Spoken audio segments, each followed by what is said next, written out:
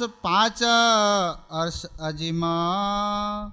बोझ दिया न सिर स्वरूपों के। बोझ दिया न सिर स्वरूपों के। जो लो इलम को हुक्मे।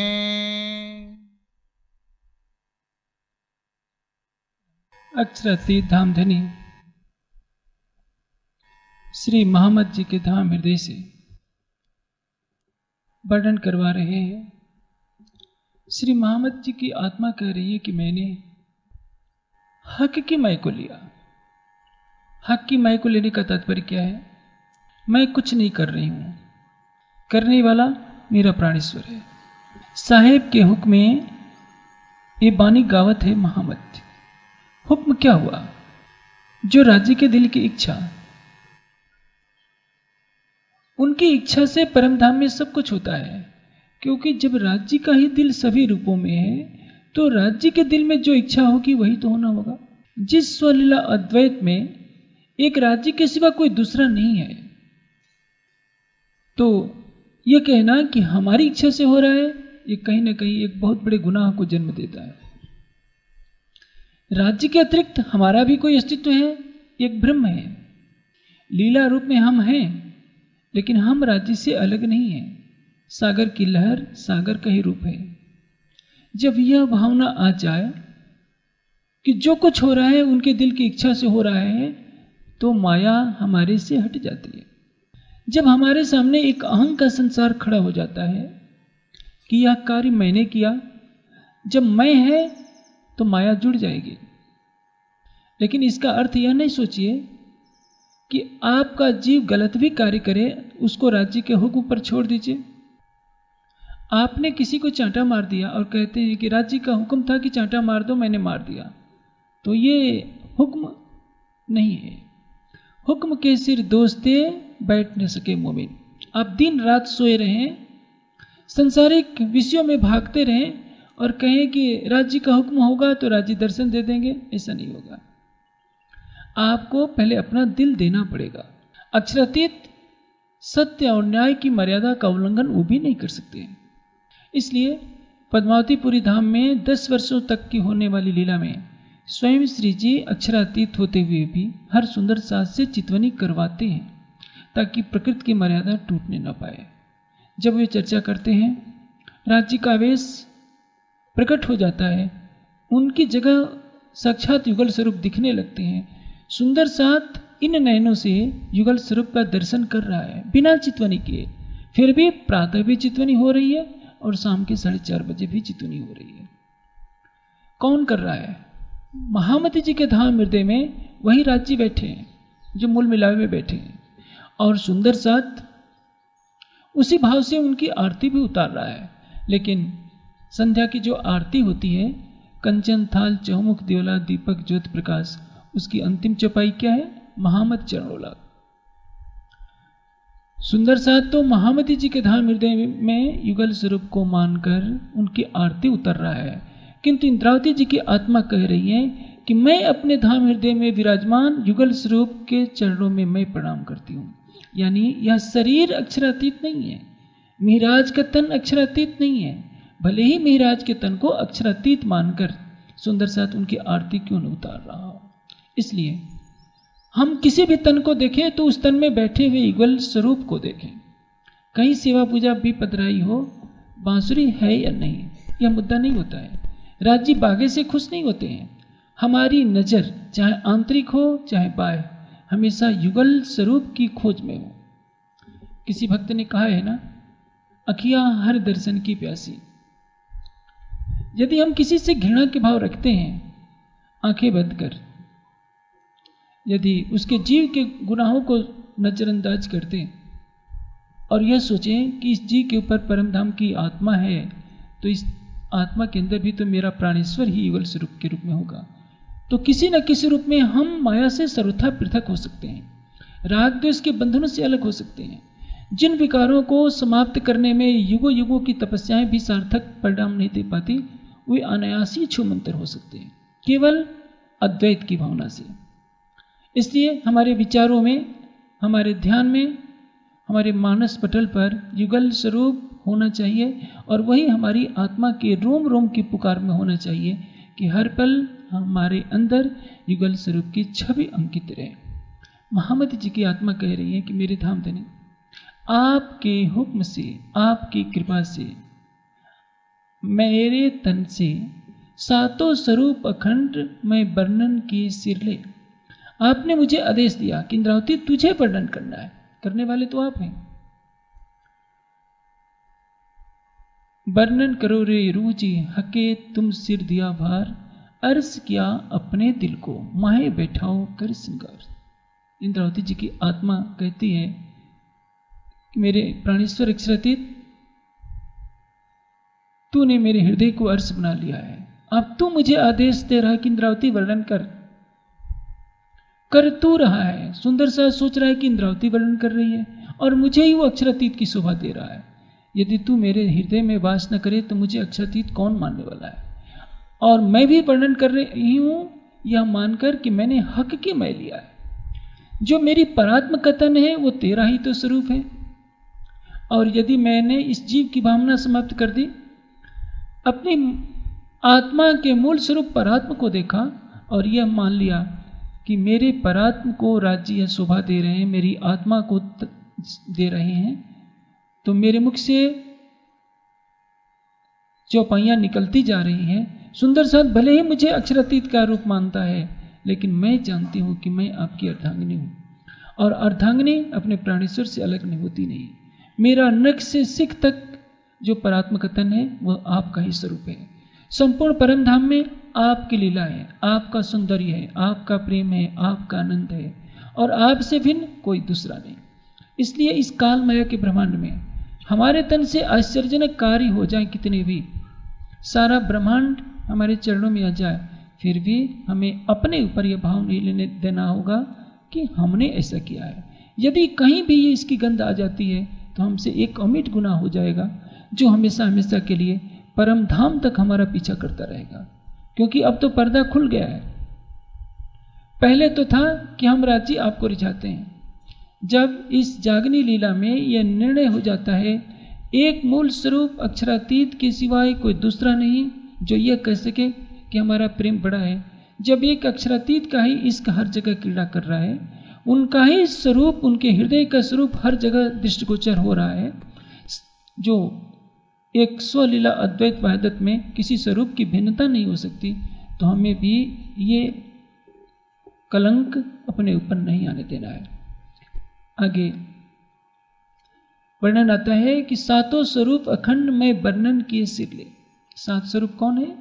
दो रास पाँच अर्थ सजीव हफ्से में सबसे पहले श्यामा जी का श्रृंगार उतरता है, उसके पश्चात राज्य का श्रृंगार उतरता है। प्रारंभ के जो पाँच प्रकरण हैं, ये पाँच प्रकरण दीप बंदर में जय राम कंसारा को प्रबोधित करने के लिए उतरते हैं। इसलिए रास की जब वाणी अवतरित होती है, श्यामा जी के श्रृंगार से। अब समय समय पर सागर की वाणी उतरती है पद्मावतीपुरी धाम में आने के पश्चात, और उसके पश्चात श्रृंगार की वाणी उतरती है। सागर और श्रृंगार में राज्य के पाँच श्रृंगार का वर्णन है। दो श्रृंगार होते हैं तीसरी भूमिका के। जब वनों की सवारी में जाते हैं तो एक श्रृंगार राज्य का विशेष होता है। उस समय राज्य के श्रृंगार में पाग के स्थान पर मुकुट की शोभा आ जाती है। और दो श्रृंगार होते हैं जब वनों में श्रृंगार करते हैं तो। इस तरह से आप देखेंगे रास ग्रंथ में, कहीं इजार का रंग केसरिया है तो कहीं नीले रंग का है। गुजराती में नीले शब्द के लिए लीला शब्द प्रयोग होता है। लेकिन सागर श्रृंगार की वाणी हिंदुस्तानी भाषा में है। इसलिए वहाँ हर जगह नीले का अर्थ हरा करना उचित नहीं होगा। प्रसंग के अनुकूल नीला और हरे का अर्थ हमें समझना होगा। इंद्रावती जी की आत्मा कह रही है कि राज्य इस माया की बुद्धि से, माया के तन से आपके एक एक अंग का वर्णन करना कैसे संभव है? इसलिए कहने की शोभा कालबूत को दे। आपके दिल की में इच्छा हो रही है कि इंद्रावती परमधाम की वाणी कहे तो मेरे तन से वाणी अवतरित होती जा रही है। आप बताइए, जब आपने हफ्से में मुझे ये शोभा नहीं दी थी तो क्या मैं एक अक्षर भी इसका कह सकती थी? हम सुंदर साथ को भी यह सोचना होगा कि जब हम धनी के चरणों में आए नहीं थे तो हमारे पास क्या समर्थ थे? हम कहाँ के थे? पुरुष बलि नहीं होते, समय होत बलवान। कोल भील मारन लगे, वही अर्जुन, वही बाण। हमें ये ध्यान रखना होगा। जिस महाभारत में अर्जुन की वीरता के सामने कोई टिक नहीं सकता था, उसी अर्जुन को कोल भीलों ने मार मार कर श्रीकृष्ण जी की पत्नी को उनके सामने से छीन लिया और अर्जुन असहाय होकर देखते रह गए। समय का चक्र इतना बलवान होता है। सृष्टि में हर पदार्थ की एक सीमा है। ये धाकता हुआ सूरज एक दिन शीतल हो जाएगा, कुछ नहीं बचेगा। यह पृथ्वी नहीं रहेगी। एक दिन ऐसा भी समय आएगा यह अनंत आकाश भी नहीं रहेगा यह सारी सृष्टि भी नहीं रहेगी। हमारा यह छः फुट का लंबा तन है, सौंदर्य का पुतला है, यौवन से भरपूर है। हम शरीर पर इतराते हैं, धन पर इतराते हैं, पद प्रतिष्ठा पर इतराते हैं, कुछ कार्य हो जाते हैं, उस पर इतराते हैं कि मैंने कर दिया। कभी हमने सोचा है कि इसके पीछे किसकी सत्ता कार्य कर रही है? हम कुछ भी करें, सब कुछ राज्य को सौंप दें। यदि हम ऐसा करते हैं तो इत भी धन धन होगा, और हम होंगे, और उत भी धन धन होगा। हम प्रेम में बाजी मार ले जाएँगे। लेकिन यदि हमने अपना प्रश्न खड़ा कर दिया, राज्य के हुक्म को छोड़कर, हुक्म का उल्लंघन का तात्पर्य क्या है? मूल स्वरूप की प्रेरणा से कुछ कार्य होता है। तो इसमें जिसने हमारे हृदय में उपजाया,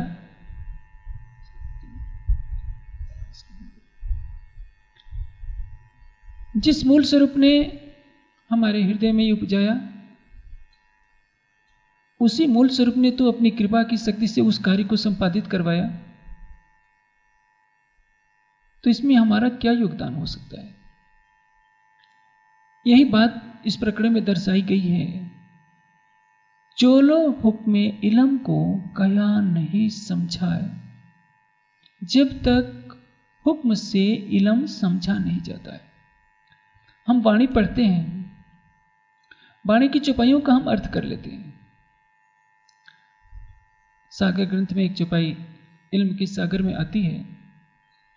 श्री मोहम्मद कहे, ऐ मोमिनो ए ऐसी कुंजी बका इलम। ए मेहर देखो महबूब की, तुमको आप पढ़ाए खुद कसम। राज्य हमें पढ़ा रहे हैं। राज्य ही हमें ज्ञान दे रहे हैं। यदि हम यह भावना ले लें कि यह ज्ञान हमारा है, हमारे जैसा कोई नहीं तो हम तो कहीं ना कहीं गुनाह के भागी हो जा रहे हैं। इल्म है किसका? राज्य का। लेकिन प्रश्न यह है कि राज्य तो सबके लिए बराबर है, इसलिए किसी को ज़्यादा इल्म दे रहे हैं, किसी को कम? यह तो शोभनीय नहीं है कि राज्य पक्षपात करें, ऐसा नहीं है। मेहर सब पर महबूब की पर पावे करनी माफक। जिसकी जैसी करनी होगी, उसके अनुसार ही उस पर मेहर होगी।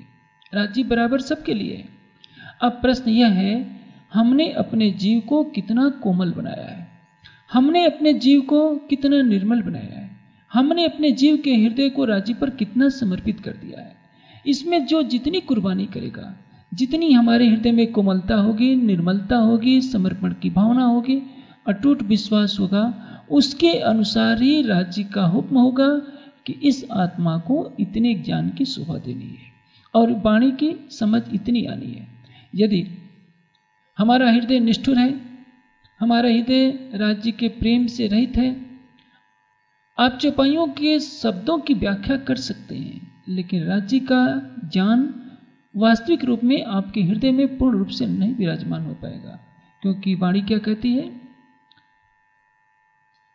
कि ये मेहर देखो महबूब की, तुमको आप पढ़ाए खुद खसम जिसकी वाणी है, उसकी कृपा के बिना आपके हृदय में ज्ञान का प्रकाश नहीं हो सकता।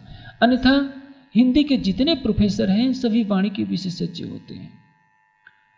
उनके जिन प्रोफेसरों के हृदय में राज्य के प्रति प्रेम नहीं होगा, चाहे हिंदी के किसी काव्य की कितनी प्रकार से व्याख्या क्यों न कर ले, कबीर जी की वाणी की कर लेंगे, नानक जी की वाणी की कर लेंगे, तुलसी के ग्रंथ की कर लेंगे, लेकिन तारतम वाणी की विस्तृत व्याख्या नहीं हो पाएगी, जब तक उस हृदय में राज्य के लिए प्रेम समर्पण श्रद्धा विश्वास का सिंहासन तैयार नहीं होगा।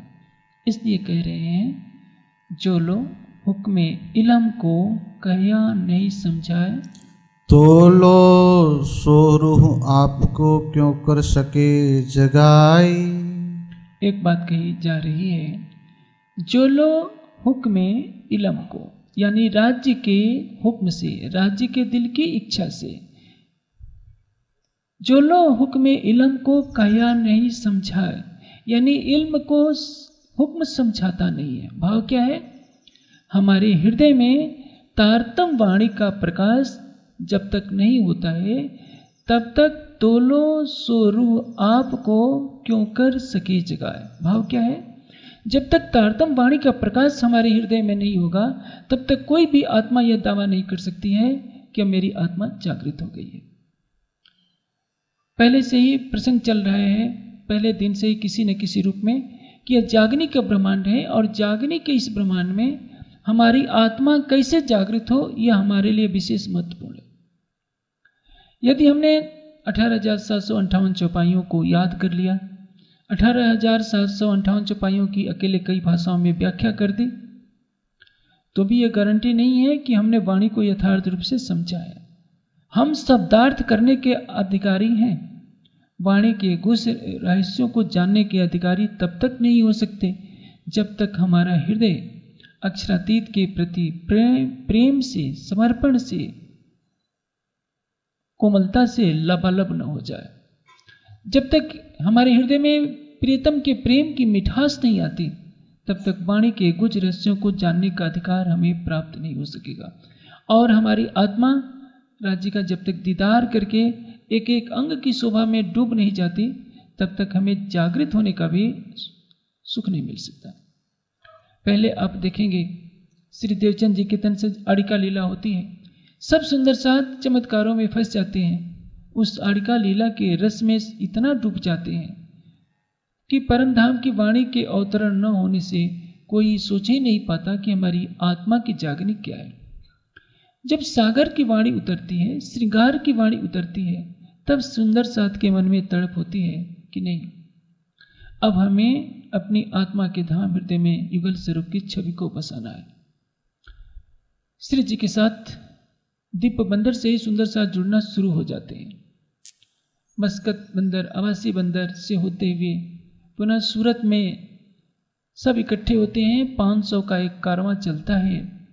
जो उदयपुर, जो हरिद्वार उदयपुर से होते हुए मंदसौर, औरंगाबाद, रामनगर से पन्ना पहुँचते पहुँचते पाँच हज़ार की संख्या में परिवर्तित हो जाता है। संख्या है पाँच हज़ार की। उसमें जब श्रृंगार की वाणी अवतरित होती है, सागर की वाणी अवतरित होती है तब सुंदर साथ की वास्तविक जागनी लीला शुरू होती है। यहीं बैठे बैठे सुंदर साथ परम धाम के पच्चीस पक्षों को देखने लगते हैं। नक्शे तक युगल स्वरूप की छवि को देखने लगते हैं। सबके हृदय में युगल स्वरूप की छवि बस जाती है और एक भूमिका तैयार होती है कि उसको हम एक आदर्श माने, उस जागने लीला को आदर्श माने। आप सुंदर साथ सोचते रहते हैं राज्य प्रलय नहीं करते, प्रलय नहीं करते। प्रलय क्यों करेंगे? जो समय निश्चित जिस समय लिखा है उस समय पर प्रलय हो जाएगा।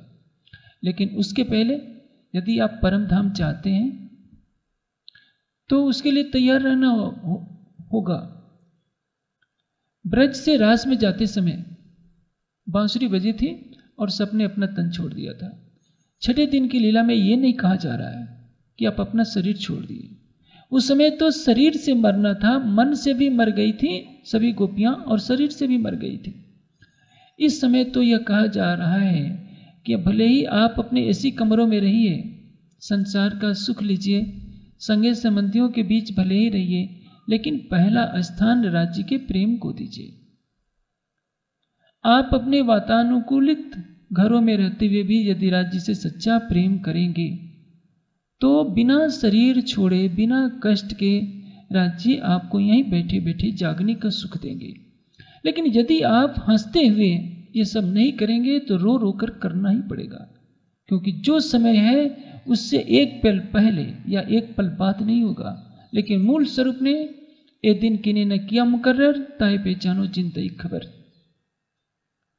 किसी भी तन को राज्य ने यह नहीं बताया है कि महाप्रलय कब होगा। वो मूल स्वरूप ने अपने हाथ में ले लिया है, क्योंकि इस श्रृंगार ग्रंथ का दूसरा प्रकरण है। उस प्रकरण से पहले प्रकरण की अंतिम चौपाई में गाया है, कहा है, एते दिन हक जिस गाया लदुन्नी का बेवरा कर, हके हुक्म हाथ अपने लिया, जो दिया था मोहम्मद के सिर पर। अमूल स्वरूप सबको मारिफत का दरवाज़ा खोल देना चाहते हैं सबके लिए। इसलिए श्रृंगार का वर्णन करने से पहले ही प्रकरण में कह दिया कि अब तक मैं महामती जी के तन से ज़रूर वर्णन करवाता रहा हूँ। अपनी शोभा का, अपने धाम का सब कुछ सारा ज्ञान दे दिया है। सागर में मैंने सारा अपना श्रृंगार भी वर्णन कर दिया है। लेकिन अब श्रृंगार के माध्यम से मुझे सबकी आत्मा को मारिफत में डुबो देना है, जिसमें केवल मूल स्वरूप रह जाए। अभी तो हमारा समाज केवल नाम के पीछे लड़ रहा है, शब्दों के पीछे लड़ रहा है रीति रिवाजों के पीछे लड़ रहा है। आप सोचिए, क्या हमारी स्थिति बन पाई है कि हम परम धाम में प्रवेश कर सके? जिस तन में आत्मा है, वो तो परम धाम जाएगी की। लेकिन यदि हम इसी अवस्था में परम धाम में जाएँगे तो हमारी आत्मा के साथ अमिट गुनाह जुड़ा रहेगा कि हमने राज्य को रिझाया क्या? राज्य तो यदि इस जागनी लीला में हमें कष्ट से रुला कर भी चितवनी में लगा देते हैं तो समझ लीजिए हमारे लिए एक अच्छा ही रहेगा। क्योंकि भले ही हमारे जीव को माया के कष्टों से जूझना पड़ेगा, किसी न किसी बहाने हम राज्य के प्रेम में तो डूबे। इंद्रावती जी किरंतन में कहती हैं, मैं तो चाहिया सुख को, पर धनी की मुझ पर मेहर। ताथे दुख फेर फेर लिया, अब सुख लागत है जहर। हम मेहर सागर का पाठ क्यों करते हैं? माया का सुख पाने के लिए। इंद्रावती जी की आत्मा कहती हैं, श्री मोहम्मद के इन दुख को मोल न की कियो जाए। लाख वेर सिर दीजिए तो भी सरभर ना है एक दो बार नहीं, लाख बार अपनी गर्दन काट काट कर इसलिए निछावर कर दिया जाए कि राज्य आपने मुझे माया का दुख दिया, जिस दुख के कारण मुझे विवेक हुआ तो उसका बदला तब भी नहीं दिया जा सकता है। लेकिन हम तो दुख चाहते ही नहीं। दुख बिना न होवे जागने, करे से कोट उपाय। आप सब सुंदर साथ नारियल क्यों चढ़ाते हैं? मिठाई के पैकेट क्यों चढ़ाते हैं? पाठ में पाँच पाँच हज़ार इक्कीस इक्कीस हज़ार की निछावर इसलिए देते हैं, ताकि माया का हमारा दुख कुछ कष्ट हो जाए दूर हो जाए। आपको राज्य से प्रेम नहीं है। मैं आपके लिए नहीं कह रहा हूँ। मैं पूरे देश में फैले हुए चालीस लाख सुंदर साथ के लिए कह रहा हूँ। कि सुंदर साथ मेर सागर का पाठ इसलिए करता है कि संसारिक कष्टों से निवृत्ति हो जाए। बहुत कम होंगे। दशमलव से भी नीचे। दशमलव अंक से भी जो है नीचे शून्य दशमलव शून्य शून्य एक प्रतिशत। शायद हो जाए तो भी बहुत बड़ी बात है। जो राज्य से मेहर सागर का पाठ करके ये कहें कि राज्य हमें माया का दुख देते रहें, ताकि हम आपको अपने दिल में हमेशा बसाए रखें। द्रौपदी ने यही तो मांगा था कृष्ण से। कृष्ण एक बार बहुत फिदा हो गए। कहते हैं, द्रौपदी, जो तुझे मांगना हो मांग ले। द्रौपदी कहती है कि कृष्ण, आप ऐसी कृपा कर दीजिए कि हमेशा हमारे ऊपर संपत, दुख, विपत्ति के पहाड़ टूटे रहे। युधिष्ठिर झल्ला गए कि, द्रौपदी, तूने क्या कर दिया? अभी तो वनवास झेले, इतना भयंकर युद्ध झेलकर अब राज्य मिला है। अब राजपाट करके सुख लेने का समय है। तूने कह दिया कि हमें संकट ही संकट चाहिए। द्रौपदी ने मुस्कुराते हुए कहा कि सम्राट, यदि दुख नहीं आएगा तो आप परमात्मा को भूल जाएँगे। यह कृष्ण ही है जो हमारी हमेशा रक्षा करते रहे हैं, हर संकट की घड़ी में। एक द्रौपदी आपको शर्मिंदा कर रही है। आप तो परम धाम की ब्रह्मात्मा हैं। जो होगा, ठीक होगा। जो हुआ है, ठीक हुआ है। और भविष्य में भी जो होने वाला है, वो भी ठीक होने वाला है।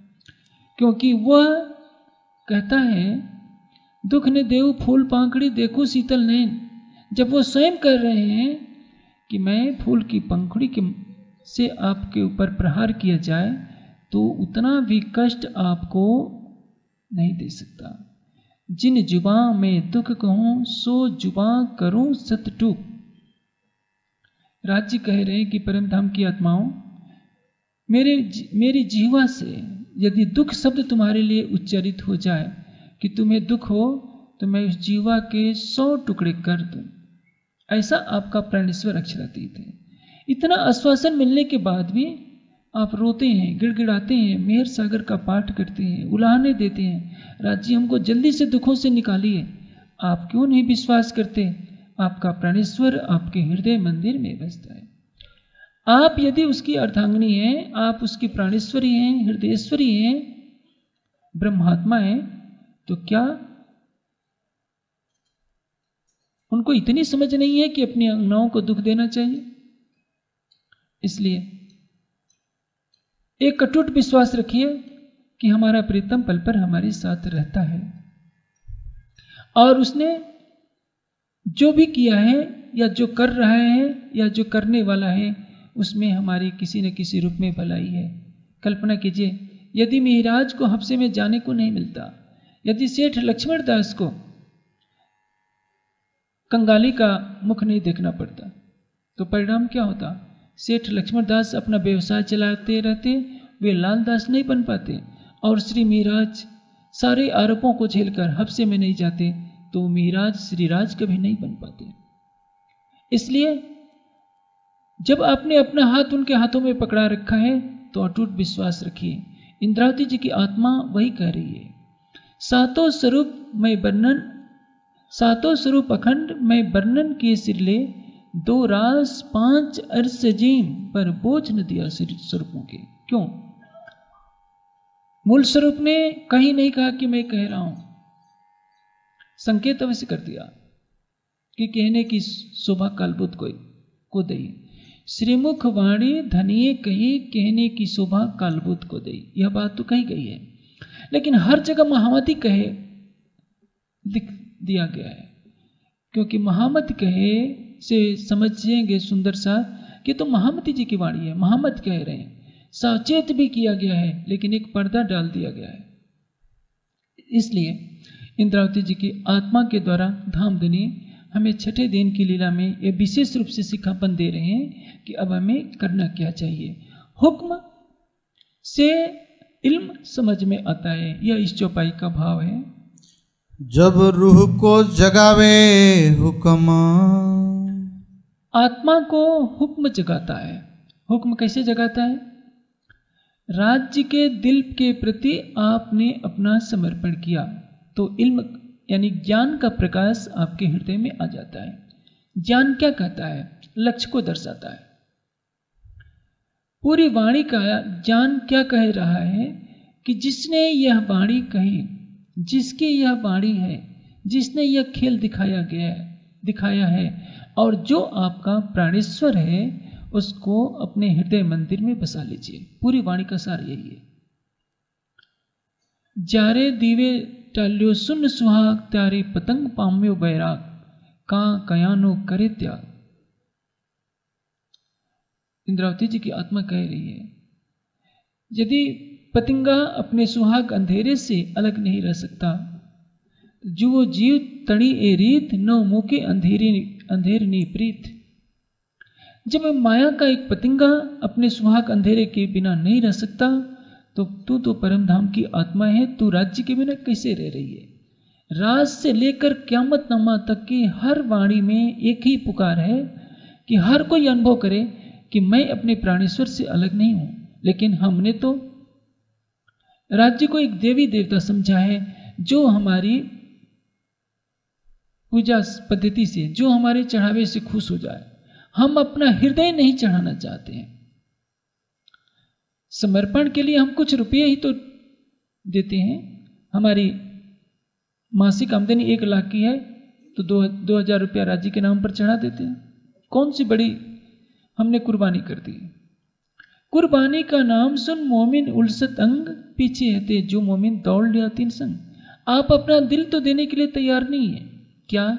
सूरज के उगने से पहले, बिस्तर छोड़ने से पहले, परिवार के किसी सदस्य को देखने से पहले क्या आप राज्य को देखते हैं?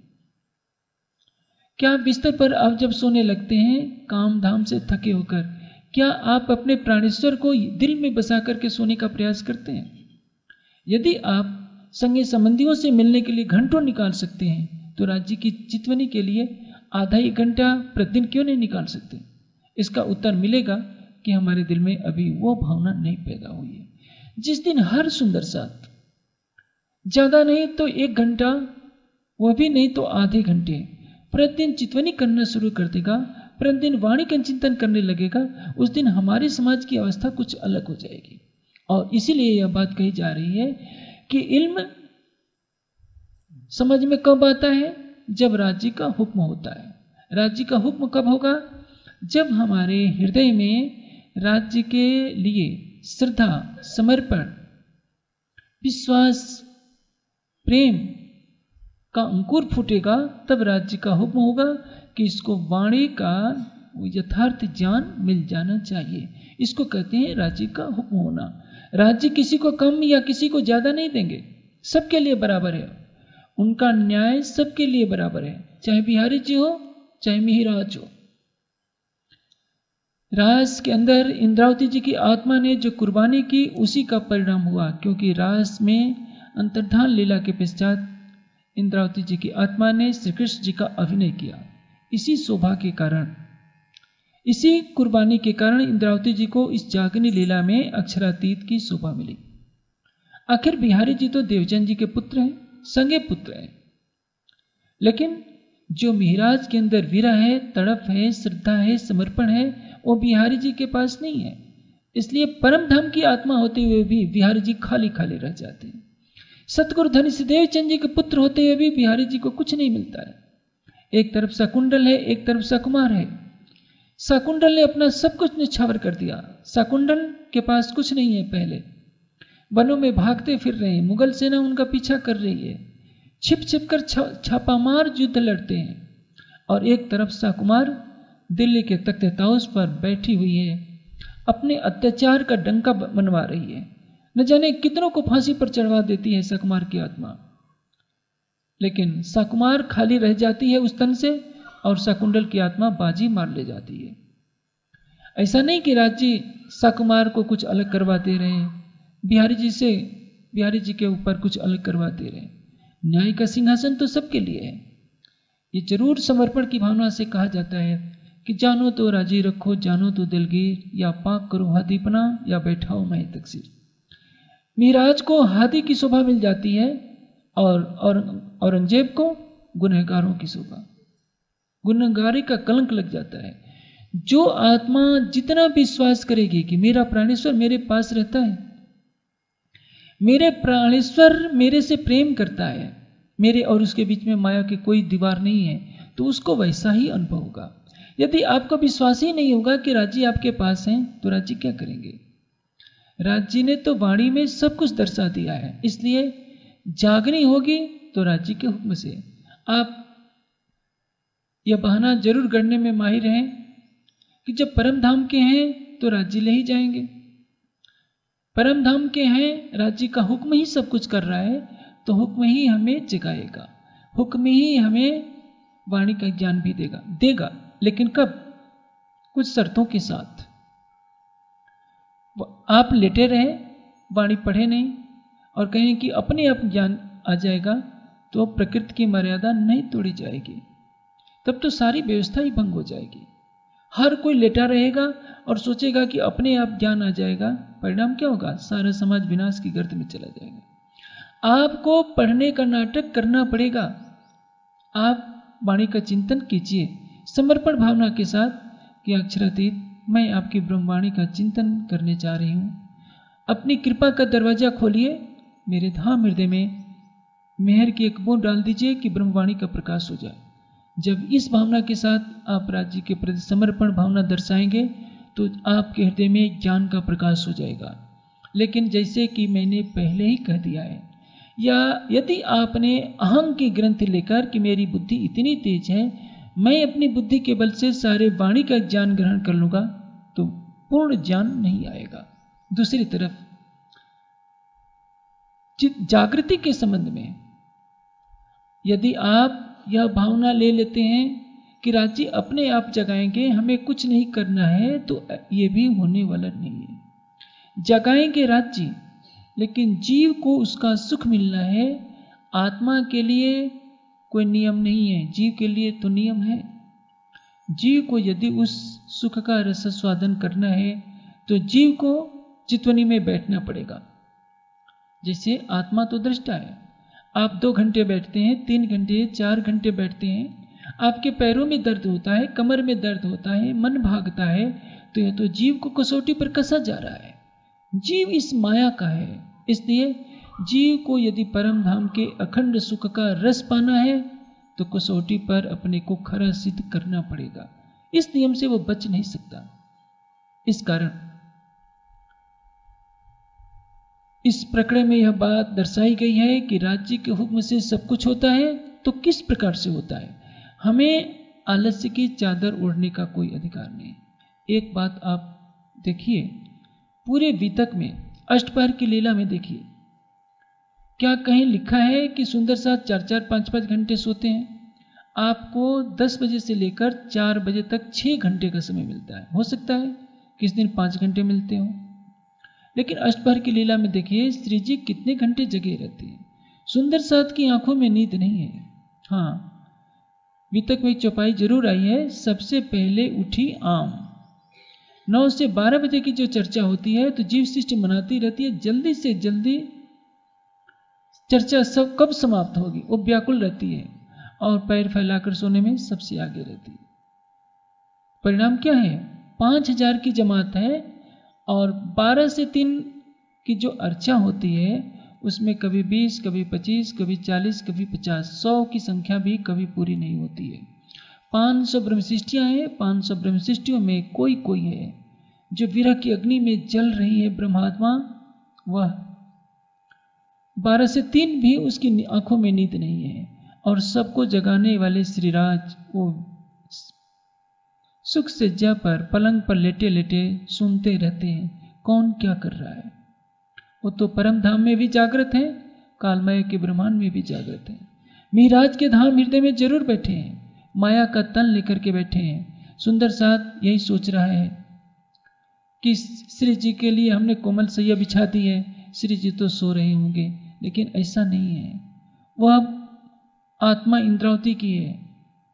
और जिस तन को अक्षरातीत ने जागने का नेतृत्व दिया है, वह तन सब सुंदर साथ की तरह तो पैर फैलाकर नहीं सो सकता। इसलिए बंगला जी दरबार में जब श्री जी पलंग पर लेटे भी होते हैं तो सबकी आवाज़ें सुनते रहते हैं कि ये चर्चा की जो अर्चा कर रहे हैं दोहरा रहे हैं, कहीं भूल तो नहीं कर रहे हैं। इस तरह की दस ताल की लीला जो होती है, उसमें यहीं बैठे बैठे सुंदर साथ ने सब कुछ देखा। तैसा इत होता गया, जैसा हजूर हुक्म करत जो कुछ हो रहा है राज्य के हुक्म से हो रहा है, लेकिन करनी माफक कृपा कृपा माफक करनी, ये माफक दो अंकुर के। जिसका जितना अंकुर होता है, वैसी ही करनी करता है, और जैसी वो करनी करता है राज्य उसको वैसा ही फल देते हैं। जीव सृष्टि प्रेम की राह पर चल नहीं पाती है। वो कर्मकांड की राह पकड़ेगी। उसको दिखाना होगा कि देखिए, मैंने पाँच माला कर ली है, पाँच बार तारतम का पाठ कर लिया है। उसको ज़ोर ज़ोर से वाणी का पाठ करके दिखाना होगा कि मैं वाणी के ज्ञान में डूबी पड़ी वो अपने प्रेम का, अपने भक्ति का प्रदर्शन करेगी। ईश्वरी सृष्टि के पास कर्मकांड का जाल तो नहीं होगा, इल्म की विशेषता होगी और भक्ति की विशेषता होगी। परम सृष्टि के पास। मारिफत का इल्म होगा, हकीकत का इल्म होगा, और हृदय प्रेम से लबालब भरा होगा। हृदय में प्रेम छलकता फिरेगा। सुनत बिछुआ हादि का साबित राखे पिंड। दिख दिख पड़ोती नकलें, वरना ही बतनी अखंड। एक पल भी वो धामधनी से अलग नहीं रहना चाहिए, क्योंकि उसका जीवन ही अक्षरातीत के लिए। परिक्रमा ग्रंथ के पहले प्रकरण में निचाने कितने चौपाइयाँ ब्रह्मात्माओं के प्रेम के संबंध में कही गई है कि प्रेम बसे पिया के चित्त ब्रह्मसृष्टि का श्रृंगार क्या है? प्रेम। प्रेम के बिना ब्रह्मसृष्टि एक पल भी दुनिया में नहीं रह सकती। इसलिए संसार को पीठ देकर ब्रह्मात्मा राज्य के लिए अपने प्रेम का दरवाज़ा खोले रखेगी, अपने रोम रोम में राज्य का प्रेम बसाएगी और इस अवस्था में उसकी आत्मा जागृत होकर पच्चीस पक्षों में विहार करती है, युगल स्वरूप के नख से सिख तक की शोभा में विहार करती है। राज्य का हुक्म सब पर रहेगा। जो जितनी कुर्बानी करेगा, छठे दिन की लीला में उसको उतना ही फल मिलता जाएगा। चाहे वो ज्ञान का क्षेत्र हो या चितवनी का क्षेत्र हो। आत्म जागृति के लिए एक पंख ज्ञान का लगाना पड़ेगा, एक पंख प्रेम का लगाना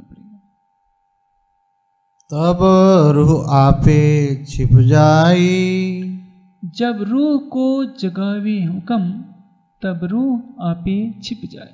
वही पुरानी स्मृति दोहराई जा रही है। जब आत्मा जागृत होती है तो रूह, वो आत्मा पीछे वो छिप जाती है, यानी अपने अस्तित्व को समाप्त कर देती है। अपने अस्तित्व का भान किस पर होता है? जब निद्रा है निद्रा है तो मैं हूँ। निद्रा हट जाएगी तो स्वलीला अद्वैत का बोध हो जाएगा कि नहीं, ये मैंने तो कुछ नहीं किया। एक पौराणिक घटना का मैं दृष्टांत दे रहा हूँ। उससे आपको ये सारी बात समझ में आ जाएगी। एक बार गरुड़ के मन में भावना आ गई कि विष्णु भगवान को तो मैं ही सवारी करता हूँ, मैं ही उठा करके ले जाता हूँ। यदि मैं नहीं रहूँ तो विष्णु भगवान क्या कर लेंगे? विष्णु भगवान के मन में ये बात आ गई कि गरुण को अभिमान हो गया है। उन्होंने कहा कि गरुण, आप तो महान शक्तिशाली हैं। मेरी उंगली का बोझ थोड़ा उठाइए तो। एक उंगली गरुड़ के पंख पर रख दी। गरुड़ को ऐसा लगा कि सारे ब्रह्मांड का बोझ मेरे पंख पर आ गया है। तड़पने लगे, चरणों में गिर पड़े। यही बात है। हमारी आत्मा को राज्य कितने भी शोभा दे दें, मैंने उस दिन चौपाई कही थी, जो कोई मारे इन दुश्मन को, करे सब दुनी को आसान, पहुँचावे सबो चरण धनी के तो भी लेना न तिन कुमान यदि आप सारे ब्रह्मांड को अकेले ही तारतम देने की सामर्थ्य रखते हैं संसार के सारे विद्वानों को अकेले ही जीत लीजिए और परम धाम के ज्ञान का प्रकाश फैलाकर सारे ब्रह्मांड को अकेले तारतम दे दीजिए तो भी मन में भावना नहीं लीजिए कि मैंने किया है। किसने किया है? उस अक्षरातीत ने किया है। इसलिए बार बार आपको वाणी के अंदर यही कथन आएगा कि जो कुछ किया है, सब राज्य ने किया है। सब राज्य की कृपा से हुआ है। उनके हुक्म से हुआ है। वाणी की तो बात आप यदि एक तरफ़ रखकर संसारी ग्रंथों को भी देखेंगे तो योगेश्वर श्री कृष्ण गीता में कहते हैं कि, हे अर्जुन, अहंकार के ग्रंथ से बधा हुआ ये जीव स्वयं को कर्ता, भोक्ता मानता है और अहंकार की ग्रंथियों में फंस जाता है। स्वाभाविक है कि जीव प्रकृति के सुखों का भोग करता है तो विषयों का सेवन वही करता है। ऐसा नहीं समझना चाहिए कि हम चोरी करें तो कहीं, देंगे कि राज्य के हुक्म से हमने चोरी किया हमारा दोष नहीं है। जीव जब बुरे कर्म करता है तो वो उसका संस्कार है यह राज्य के हुक्म से नहीं हो रहा है। राज्य का हुक्म आत्मा के लिए है।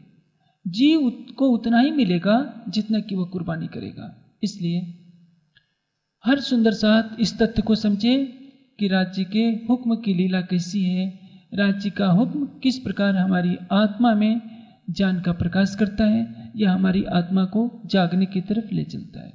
तब रहे शिर हुक्मे। यह बात कही जा रही है जब रूह को जगावे हुक्म तब रूह आपे छिप जाए तब रहे सिर हुक्म के। यानी किसने जागृत किया? हुक्म ने जागृत किया। देखिए बीतक का प्रसंग। श्यामा जी को राज्य तीन बार दर्शन देते हैं। उनके धाम हृदय में भी बैठ जाते हैं। फिर भी उन्हें जागृत नहीं कहा जा रहा है। अवेश जाको में देखे पूरे, सो जोग माया की नींद हो। उनको अर्ध निद्रा में कहा गया है। आधी नींद है, आधी जागृति है। बरस निन्यानवे लो रही हुरम। निन्यानवे वर्ष तक पर्दे में रही। यानी सोलह अड़तीस में श्री देवचंद जी के अंदर श्यामा जी की आत्मा प्रविष्ट होती है और सत्रह तक वो पर्दे में उनको रह, रहा हुआ कहा जाता है। सती ग्यारह बीच में मेरी बातिन खुली नज़र। दसवीं ईसा ग्यारह इमाम। सत्रह सौ पैतालीस में ग्यारहवीं सदी पूर्ण मानी जाती है। सत्रह सौ पैंतीस में दस सौ नब्बे हिजरी था, यानी दस कम ग्यारहवीं सदी। 1745 में वह पूर्ण हो जाती है। तो परिणाम क्या हुआ? 1748 में मार्फत सागर अवतरित होता है। ग्यारहवीं सदी में, जब पद्मावतीपुरी धाम में परम धाम की वाणी अवतरित होती है तो यहाँ बैठे बैठे सब सुंदर साथ ने उसका रस लिया होता है।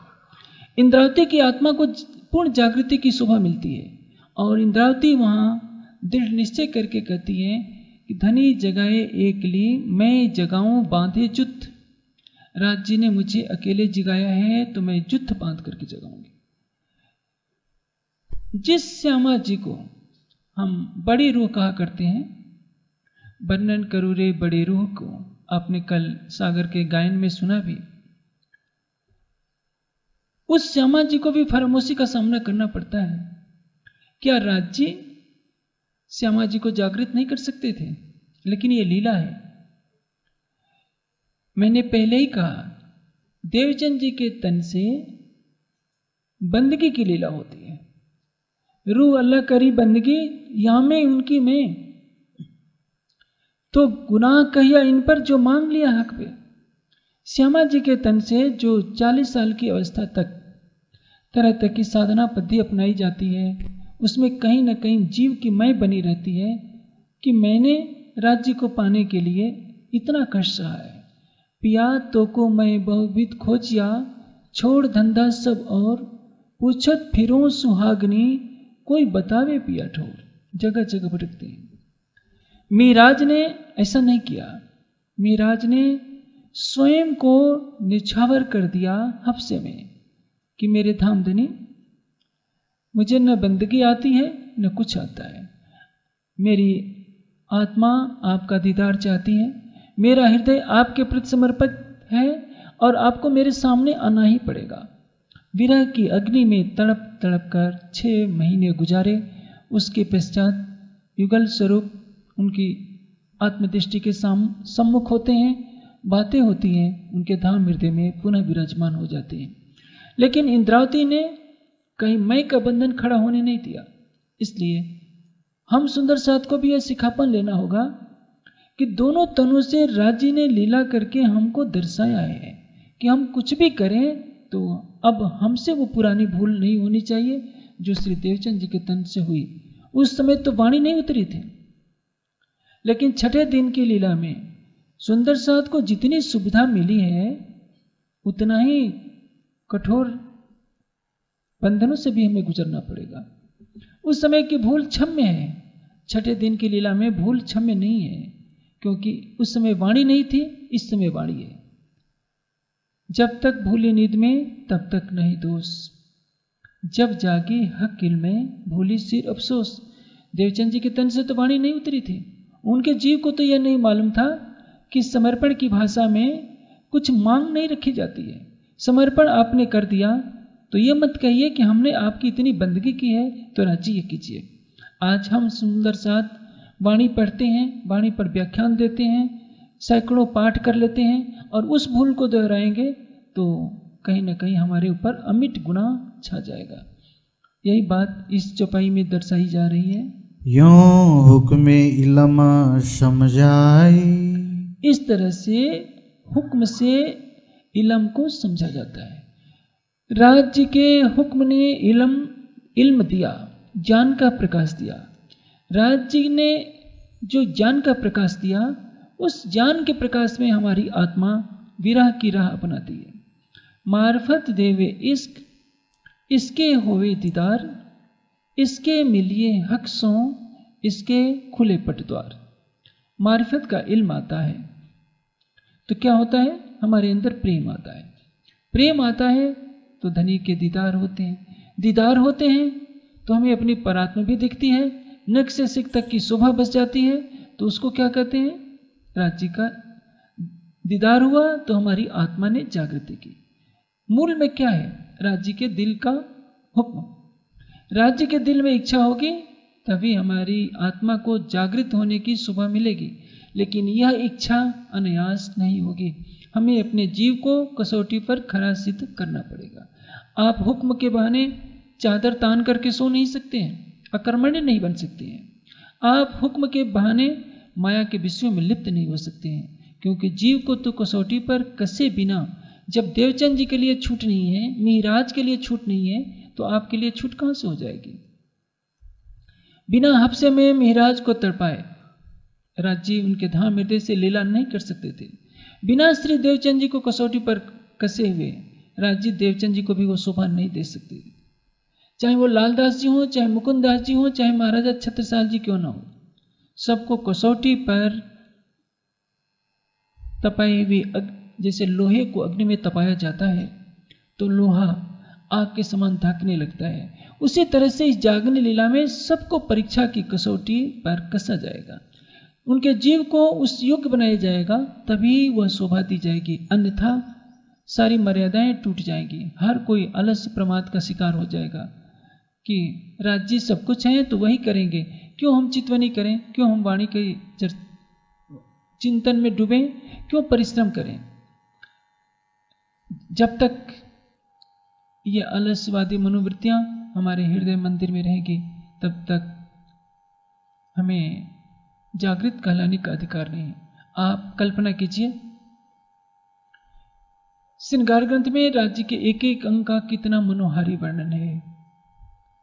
नेत्रों की तरफ़ जब जाते हैं तो वाणी पुकार कर, करके कहती है देखो नैना नूर जमाल जो रूहों पर संकुल। अरवा हुए जो अर्स की सो जिन जावे खिन भूल।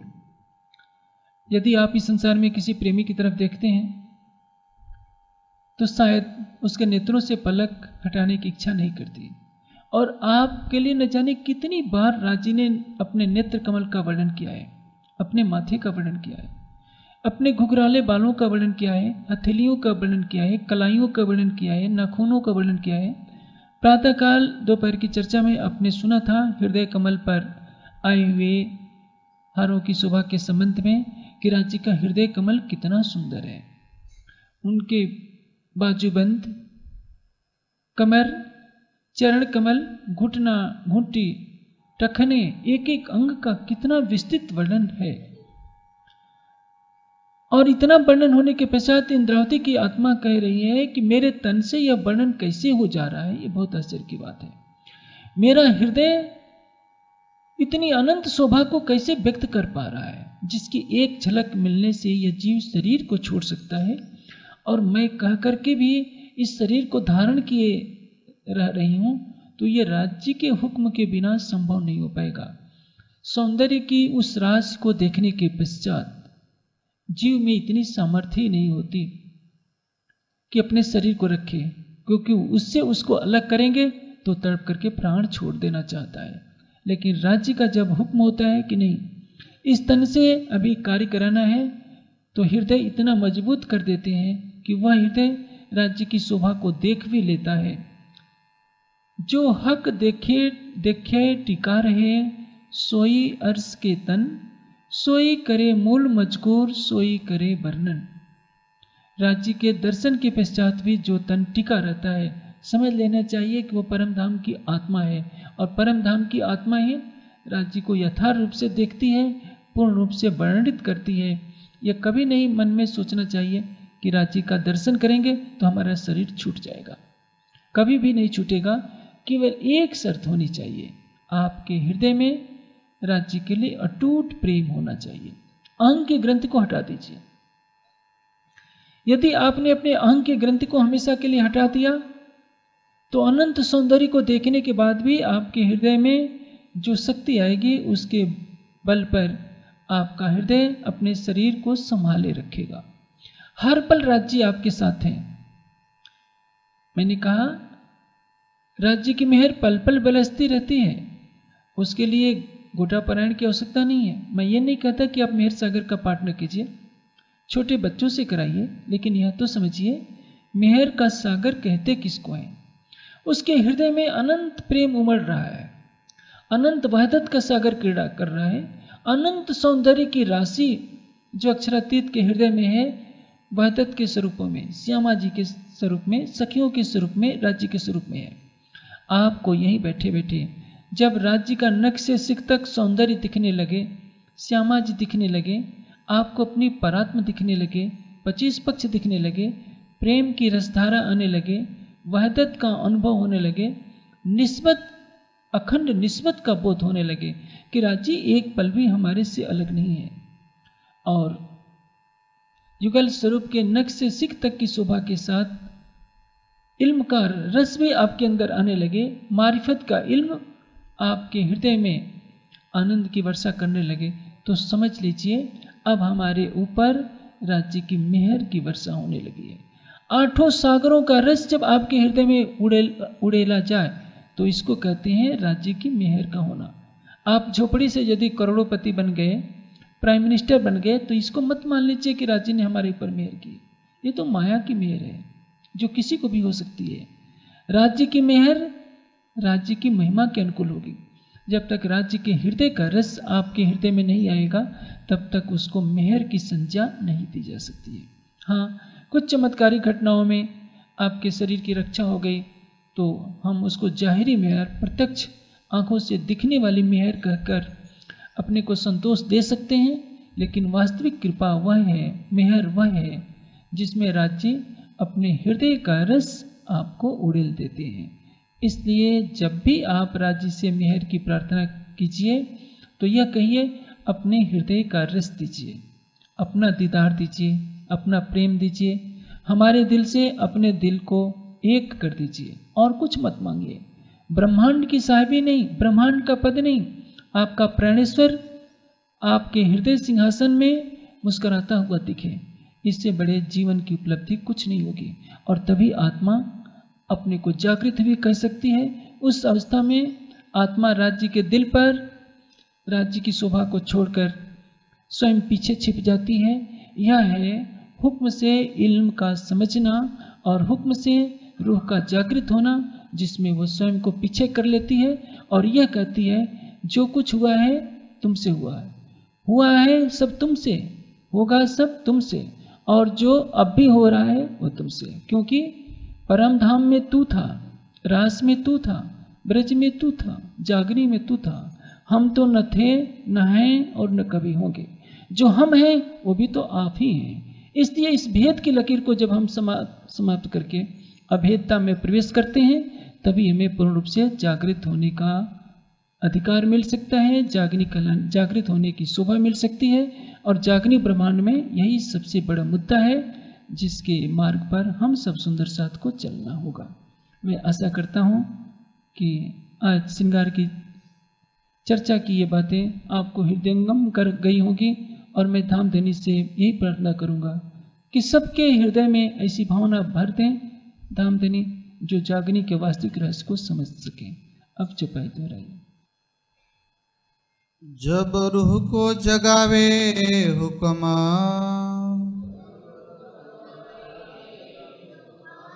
तब रूह आपे छिप जाई। तब रहे सिर हुक्म के।